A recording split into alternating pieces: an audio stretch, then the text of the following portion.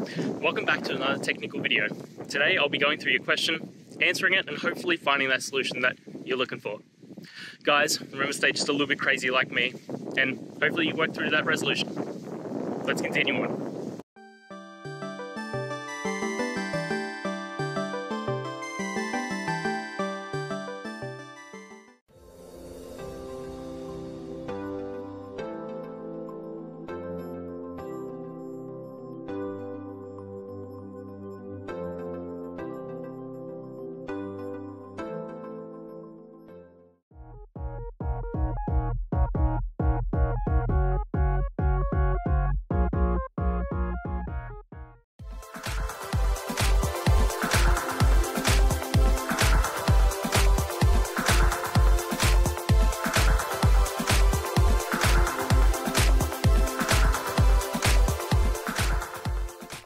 And that's it, guys.